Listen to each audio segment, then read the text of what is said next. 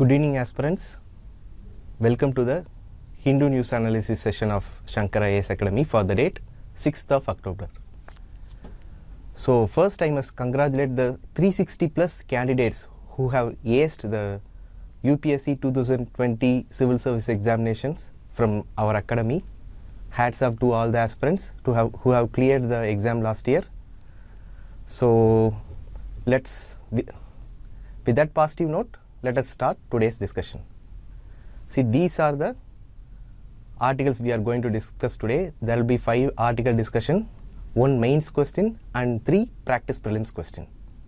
So before going into today's discussion i wish all the best for the aspirants who are appearing for the prelims exam that is going to be conducted this sunday. Keep your calm okay? Don't study anything new, revise what you have studied, sleep well, have a good diet, and keep positive people around you. Okay, these factors will help you ace this exam. So, again, all the best, give your very best. So, now let us take up the first article for our discussion. Look at this article. This article is about the Nobel Prize for Physics for the year 2021 which was announced yesterday. See, the Nobel Prize season is upon us. Yesterday we saw about the Nobel Prize for Physiology or Medicine awarded jointly to two US scientists, David Julius and Ardem Patapoutian. So today we are going to see about the Nobel Prize for Physics. See, this year's Nobel Prize for Physics is shared among three people. They are Klaus Hasselmann of Germany, Syukuro although affiliated to Princeton University of USA and Giorgio Parisi of Italy. See Mr. Syukuro Manabe and Mr. Klaus Hasselmann received the Nobel Prize for their work in the physical modeling of Earth's climate, quantifying variability and reliably predicting global warming. Their work helped us lay the foundation of our knowledge of the Earth's climate and their research also helped us identify how we as humans and our activities influence the earth's climate around us. Okay? So moving on to mr giorgio parisi. He was awarded nobel prize for his work on the discovery of the interplay of disorder and fluctuation in physical system from atomic to planetary scales. That is from the small size to large size he discovered the interworking of the disorderly state. Okay. His work has continuously aided the physicists around the world to understand and study completely random phenomena in nature. This year's Nobel Prize for Physics is special since all the three are climate scientists. The Nobel Selection Committee, by awarding the prize, has signaled the world leaders ahead of the COP26 or the Conference of Parties 26 summit that is going to be held in Glasgow, Scotland that climate change is real and it is based on solid physical science. See here the names of the physicists can be uh, asked in the preliminary exam. So please take note of that. And climate change is a topic that is always relevant and it is one of the most favorite topic of the UPSC. So many questions have come up in the mains exam relating to climate change. So for example, here are three questions that appeared in the mains examination. Okay. See in the mains answer, introduction is as important as the answer you write to address the exam. Let us use this question for example. Okay. Let me read out the question. It appeared on the GS1 paper in 2017. The question is, climate change is a global problem. How India will be affected by climate change how Himalayan and coastal states of India will be affected by climate change? This is the question. The question asked us two things. First is how India will be affected by climate change. And the second is how the Himalayan and the coastal states of India specifically will be affected by climate change. See, these two are very generic questions. Everyone will be able to uh, write a decent and presentable answer for this.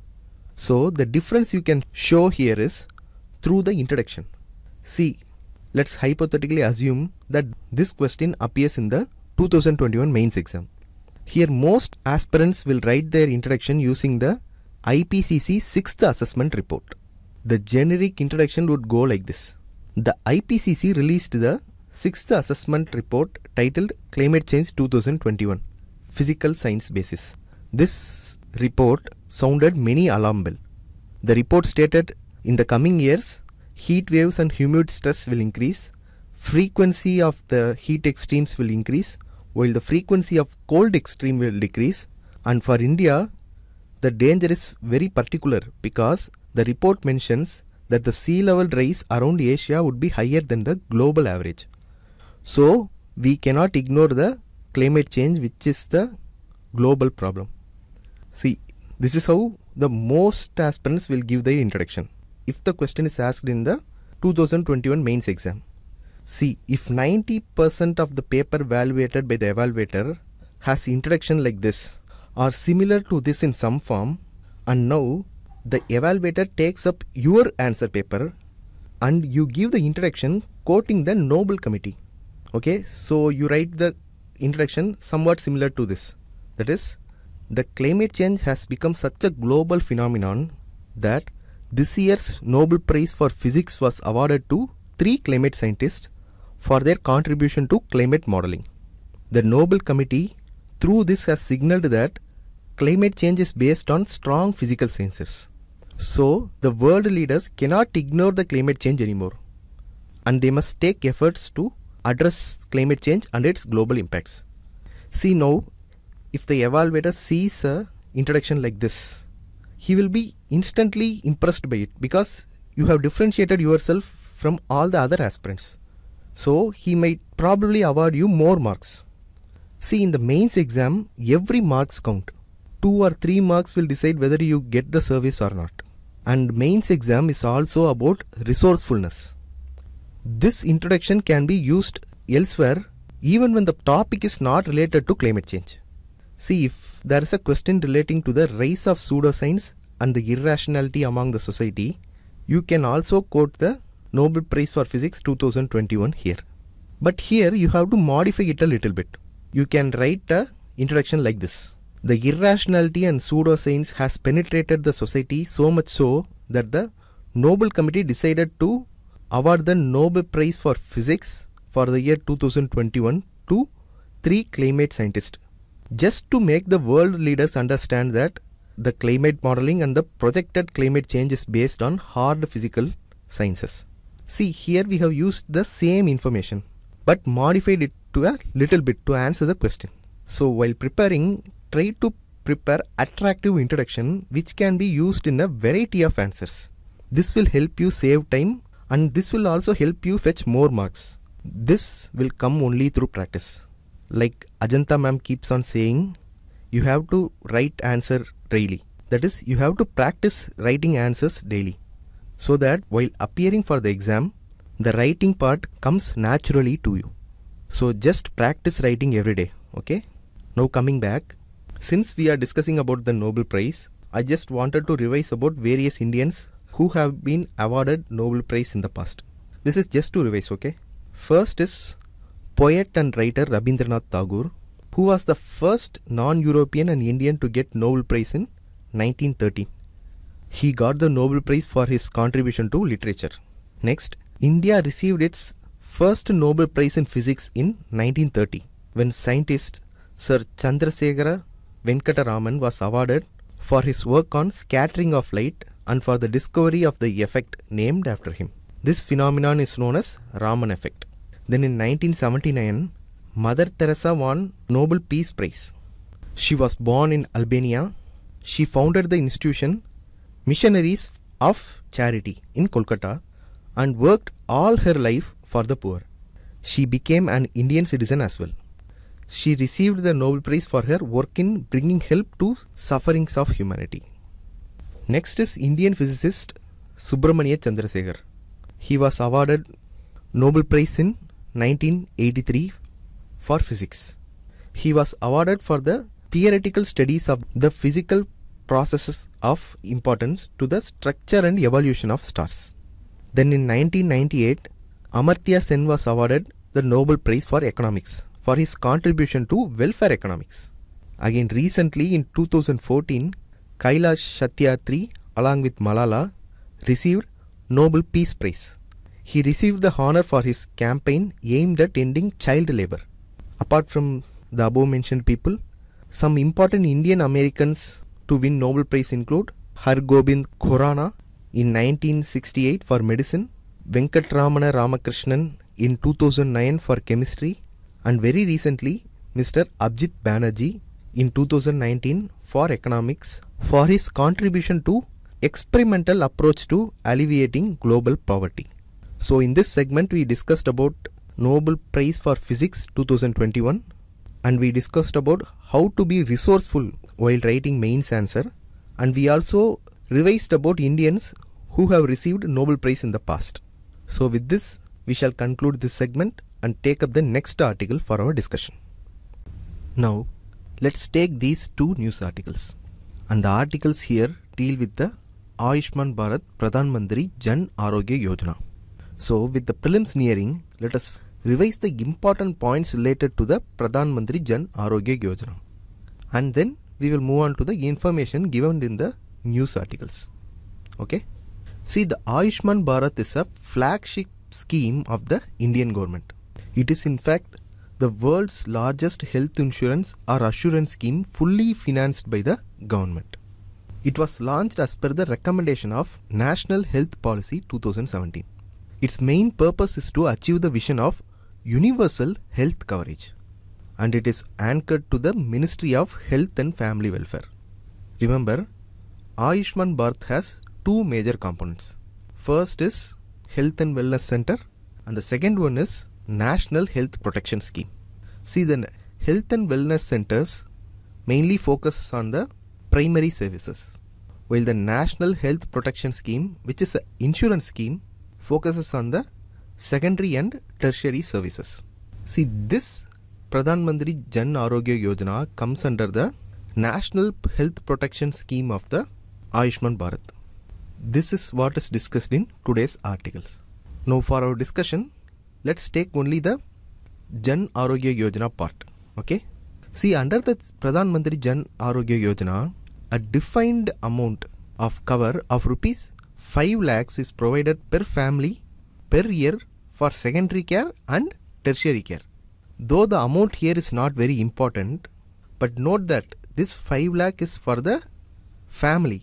That is, this 5 lakh is used to cover the entire family for one year. Okay. See, these are the points which we tend to ignore, which UPSC will usually pick up for the prelims examination questions. Okay. Now, moving on.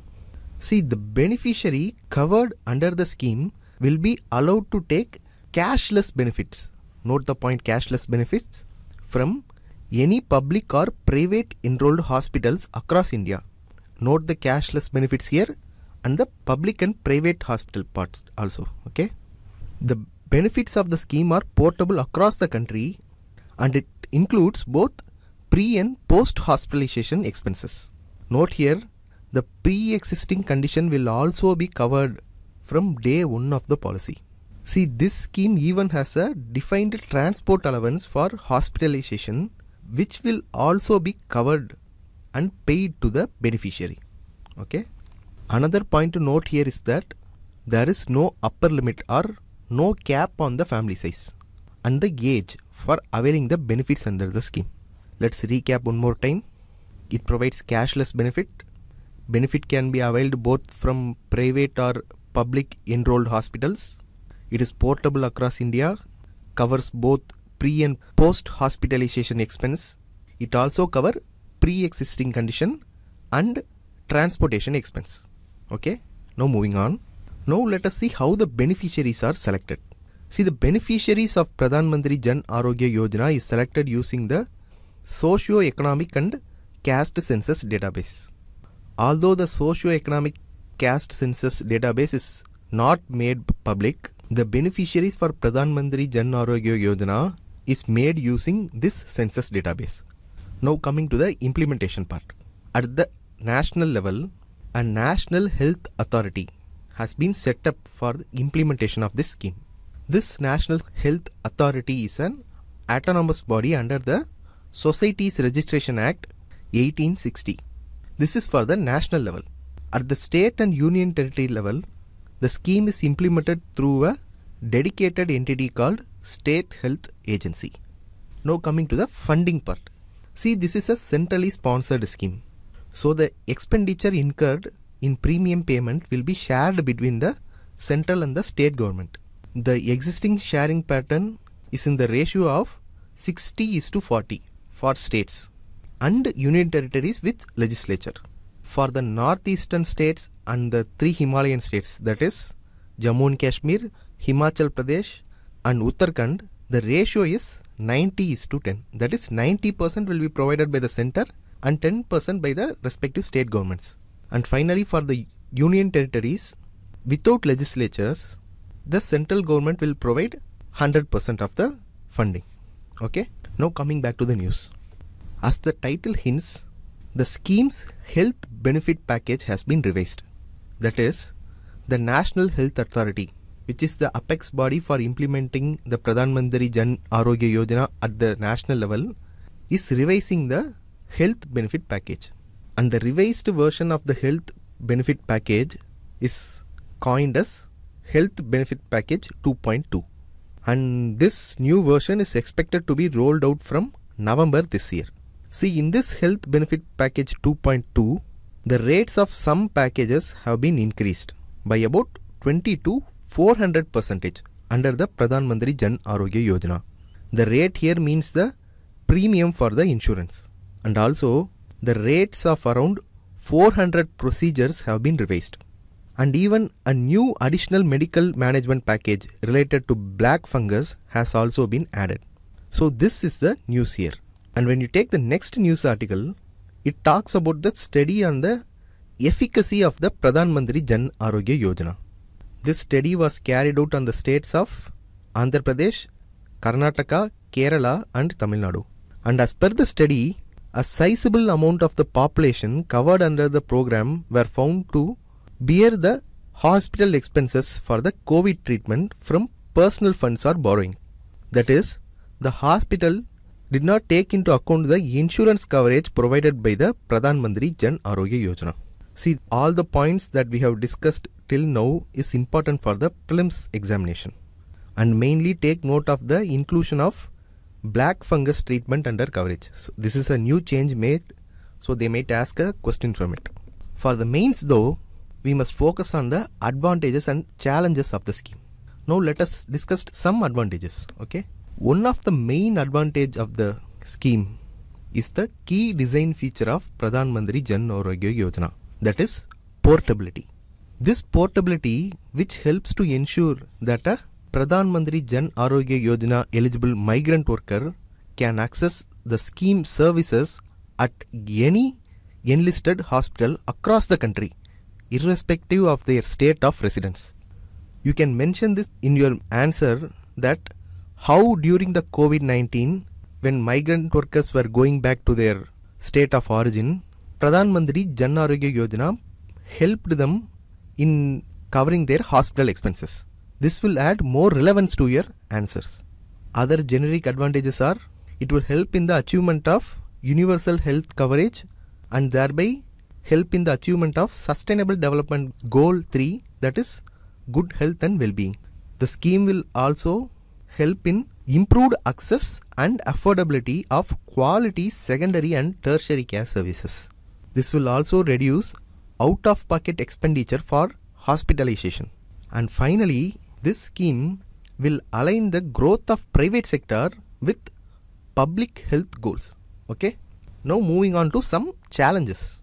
Like we discussed in the article today, many enlisted private hospitals are not taking the insurance cover provided by the Pradhan Mantri Jan Arogya Yojana seriously and are charging the patients money. Government must try to make the private hospitals address this issue fastly. Okay. The next important challenge is funding. See, since health is a state subject and the states are expected to contribute 40% of the funding for the scheme, it will be critical to streamline and harmonize the existing state health insurance schemes to Pradhan Mantri Jan Arogya Yojana. Even now, many states are refusing to implement the scheme. So, in this segment, we discussed about the important salient features related to the Pradhan Mantri Jan Arogya Yojana. Later, we discussed about some benefits and challenges associated with that scheme. With this, let us wind up this discussion and move on to the next article. Now, let's take this news article for discussion. This news article mentions that the state government of Tamil Nadu has announced the birth anniversary of Ramalinga Adigalar as Boundless Benevolence Day. So today we are going to discuss about Ramalinga Adigalar and his philosophy. See, Ramalinga Adigalar was born in 1823 in the Marudur village near Chidambaram district of Tamil Nadu. He was a great Tamil saint and poet. He is one of the towering figures of the Tamil Renaissance movement. He questioned the Hindu religious orthodoxy. His voluminous songs were compiled and published under the title Thiruvarutpa, that is, Songs of Grace. His radical views deeply disturbed the Saiva orthodoxy, who condemned his writings as Marutpa, that is, songs of ignorance. See, that is, he continuously questioned the Hindu religious orthodoxy. Okay, so moving on, he established the philosophy of Jiva Karunya. Through this philosophy, he expressed the view that those who lack compassion for suffering beings are hard hearted and their wisdom is clouded. He showed his compassion and mercy on all living beings, including plants. Ramalinga Adigalar believed that all religions lead to the same God. He called this God as Lord Arutperum Jodi. Arutperum Jodi means graceful universal light that caused creation of all and governs all of the universe. Three things you have to remember regarding Ramalinga Adigalar. These are the important points which they might ask in the prelims examination. Okay. First is the Samarasa Veda Sanmarga Sangam. Actually, he established the Samarasa Veda Sanmarga Sangam in 1865 and later it was renamed as Samarasa Suddha Sanmarga Satya Sangam which literally translates to Society for Pure Truth in Universal Selfhood. Through this institution, he propagated the philosophy of Jiva Karunya.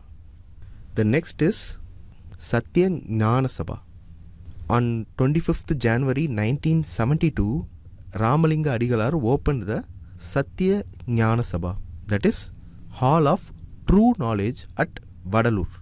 One of the primary teachings of Vallalar is service to living beings is the path of liberation, that is, moksha. He declared that death is not natural and our life's first priority should be to fight death. And he declared religion in itself is a darkness. He laid a very great emphasis on being vegetarian.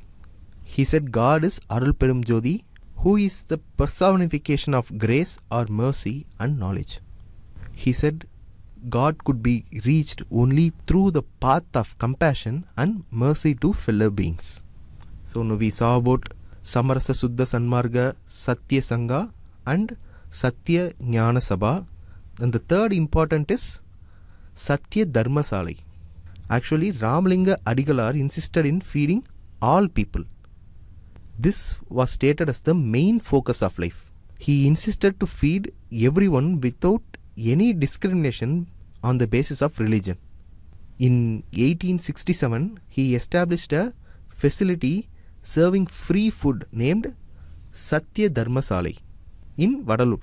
There, all people were served food free of cost without any caste distinction. This facility, that is the Satya Dharma Salai, continues its service even till now. Further, Ramalinga Adigal proclaimed that non-violence in words and deeds is the way of life. He claimed or he believed that everyone has equal right to live on the earth and enjoy their life and no one has the right to kill anyone for any cause okay he also believed wisdom alone can bring peace to a man and was opposed to superstition and rituals. Due to these principles, he was called as Arutpragasa Vallalar. Actually, in Tamil, Vallal means philanthropist. Since he exemplified the quality of benevolence, Ramalinga Adigalar was called Vallalar.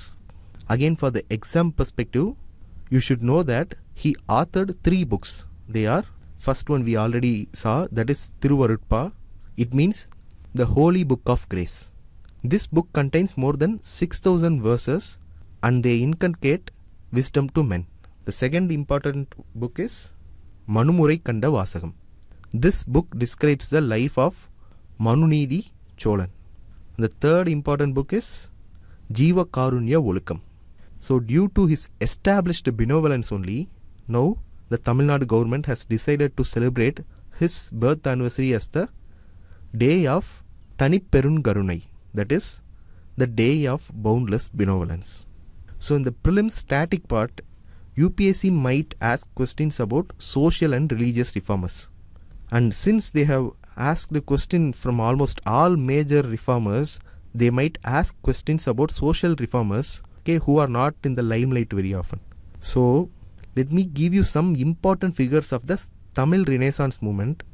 Gather few points that is just one or two important points about them. Note it down and revise it before the prelims examination. They might ask questions from it. Okay.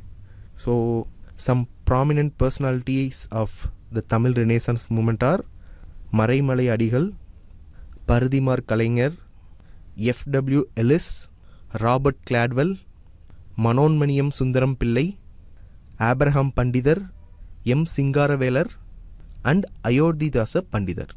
They are some important personalities in Tamil Renaissance movement. So, in this segment, we discussed about Ramalinga Adigal from prelims perspective.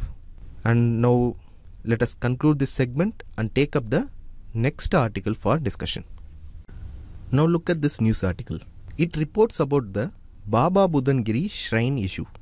See, earlier the Karnataka government passed an order in which it entrusted the religious ceremonies of the Baba Budangiri cave shrine to a Muslim Mujawar.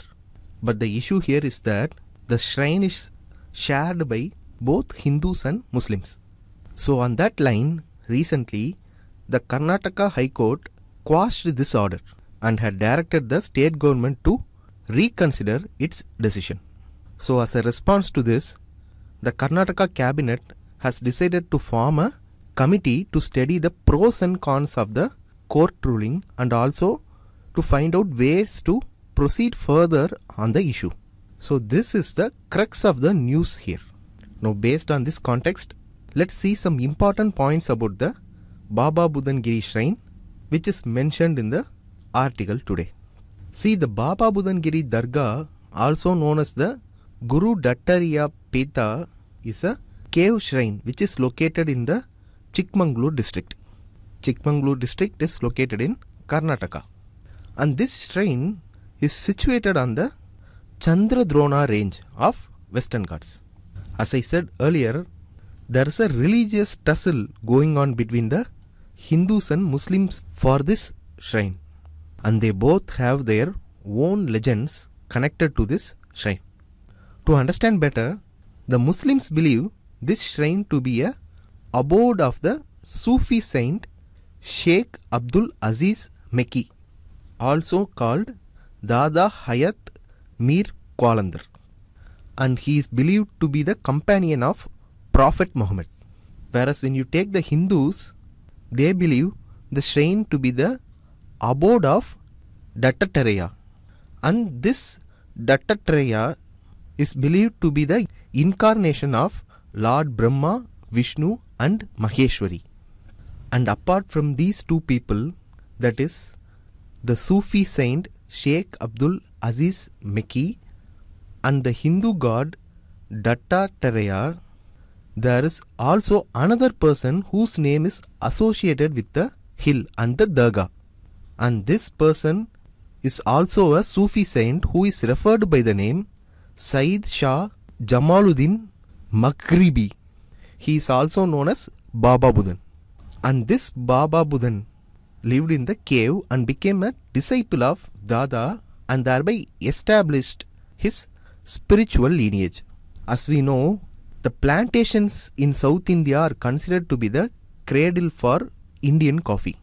And one important point to note here is that the place of this shrine is known as the birthplace of coffee plantation in India. And the main reason behind this is because Baba Budan is reputed to have brought the first coffee seeds to India from the Yemeni port city of Mocha.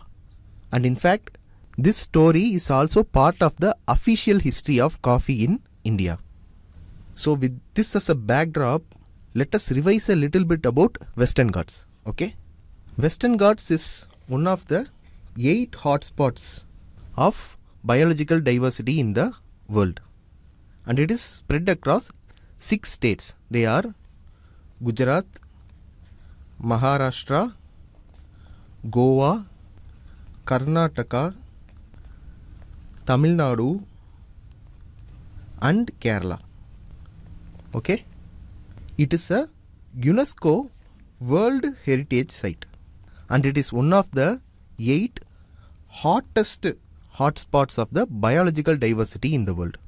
Okay, this Himalayas extends from Tapti Valley to Kanyakumari. Okay, it is divided into four sections. That is northern western ghats middle sahyadri and nilgiris and southern western ghats.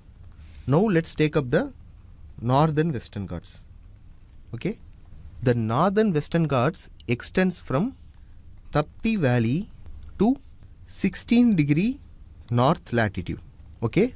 Extends from tapti valley to 16 degree north latitude.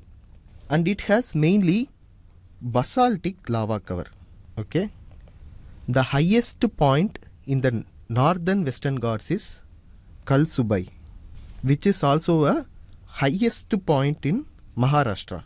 Talghat and borghat are the important passes in the northern western ghats now moving on to the middle sahyadri see the middle sahyadri extends from 16 degree north latitude to Nilgiri hills in the south. Earlier we saw that northern western Ghats is mainly made of basaltic lava cover. Here the middle Sahyadri is made up of granites and gneisses. Okay, this area receives very high rainfall, so this area is covered by dense forests. Okay, the average height here is above 1200 meters. The major peaks in the middle Sahyadri are Vavulmala, Kudremukh and Pushpagiri. And the highest point of middle Sahyadri is Vavulmala. Okay. After middle Sahyadri comes the Nilgiri hills. See the Nilgiri hills joins the Sahyadri near the tri-junction of Karnataka, Kerala and Tamil Nadu. Okay.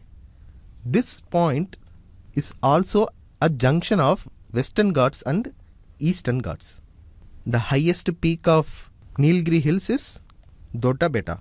And another important peak of this area is Makurti. This mainly has granitic structures. The Nilgiri Hills that extends into Karnataka has another highest point called Mulangiri, which is located near Baba Budan Hills. This Mulangiri is the highest point in Karnataka. And uh, earlier we saw Dodda Beta, right? Dodda Beta is the highest point in Tamil Nadu. See, Nilgiri has two distinctive features that is Malanad and Maidan. Malanad are highlands and Maidan are plateau surfaces. Okay, and coming to the last section, that is the southern section of Western Ghats. This extends from Palghat Gap to Kanyakumari. Okay, this Palghat Gap is actually a rift valley. Through this gap, number of roads and railway lines connect the plains of Tamil Nadu and the coastal plains of Kerala. See, only because of the presence of this gap, the southwest monsoon can enter into the plains of Tamil Nadu and the plateau regions of Karnataka and cause rain during the monsoon season. Okay? If there had been no Palghat gap, all of Tamil Nadu and the plateau regions of Karnataka would have been in the leeward side and thus facing very deficient rainfall. This is the importance of Palghat gap. Now, the important peak in the southern section of Western Ghats is Anaimudi. Actually, Anaimudi is the highest peak in the whole of southern India. This Anaimudi is located in Kerala. Okay, so here we saw about four important peaks. First is Kalsubai, which is the highest peak of Maharashtra. Then we saw about Mulangiri, which is the highest peak of Karnataka. Then we saw about Dodda Beta, which is the highest peak in Tamil Nadu. And finally, we saw Anaimudi, which is the highest peak in Kerala and also whole of the southern India. We also saw three important gaps. They are uh, gap, Borghat gap, and Palghat gap. Map based questions can be asked using these features. So, find which is located in the north, which is located in the south. That is the general direction of these geological features. So, in this discussion, we discussed about the issue related to the Baba Budangiri shrine and we revised a little bit about Western Ghats. With this, let us wind up this segment and move on to the next article. Now, our next news discussion is going to be based on these two news articles, and both of them deal with the deaths related to suicide. And when you take this article, it reports about a judgment made by the Supreme Court related to the suicide of a 14 year old at Rajasthan in 2018. And in this case, a teacher was accused of insulting the boy. So, in this judgment, the court held that the disciplinary measures which are adopted by the authorities of the school for reprimanding a student for his or her discipline will not be considered equivalent to provoking a student to commit suicide. And the court also added that a mere disciplinary action cannot be considered equal to that of a crime of abetment or instigating of suicide unless there are evidence of repeated and specific allegation of harassment or insult deliberately without any justifiable cause or reason okay so this is the main takeaway information from the news article. Now with this background let us discuss about the legal provisions related to suicide in india. See whenever you talk about suicide two major conflicting laws come into limelight. And they are section 309 of the indian penal code and the other one is section 115 of the mental health care act 2017 when you take section 309 of the indian penal code it criminalizes the attempt to suicide. As you can see here anyone who survives from having attempted suicide can be booked under section 309 of the indian penal code. And they shall be punished with simple imprisonment for up to one year either with or without a fine. And this provision is often criticized for being misused. Whereas on the contrary if you take the mental health care act of 2017 it bars the prosecution of a person trying to take their own life under severe mental stress. And you can see here in section 115 class 1 this act has significantly reduced the scope of the use of section 309 of the indian penal code. And it has made the attempt to commit suicide punishable only as an exception likewise through its class 2 of the section 115 it has vested the responsibility on the appropriate state government to provide the necessary care treatment and rehabilitation to the persons who commit suicide in order to reduce the risk of reoccurrence of attempt to commit suicide. Okay? Note the class 1 and class 2 now coming to the constitution According to the judgment pronounced by the Supreme Court in the Gyan Kaur case of 1996, the Article 21 only provides the right to live with dignity and not the right to die. Okay? To conclude, see, even till date, these two provisions continue to remain conflicting. That is, Section 309 of IPC and Section 115 of Mental Health Care Act 2017. And despite many attempts and popular perception that Section 309 of IPC is repealed, still the section continues to exist in the statute book. Now, moving on, actually, a report titled Suicide Worldwide in 2019 was published by the World Health Organization. According to this report, India has the highest suicide rate in the Southeast Asian region.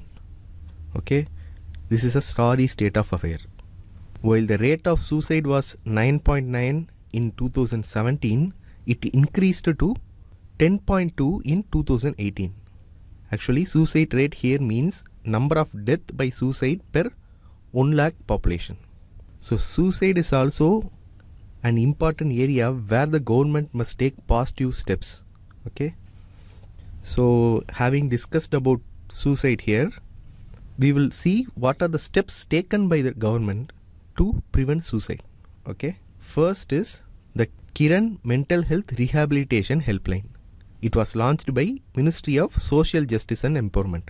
Actually, this is a 24 by 7 toll free helpline to provide support to the people facing anxiety, stress, depression, suicidal thoughts, and other mental health concerns. Second is Manodarpan Mental Health Initiative. It was launched by the Ministry of Education. This initiative is aimed at providing psychological support to students, family members, and teachers for their mental health and well being during the times of COVID 19. So, Kiran is launched by Ministry of Social Justice and Empowerment. Manodarpan is launched by Ministry of Education. Okay, you can use these government initiatives in your main answer to make them more legitimate. Okay. So in this segment we discussed about the legal provision in India relating to suicide and we also saw two government initiatives relating to suicide prevention.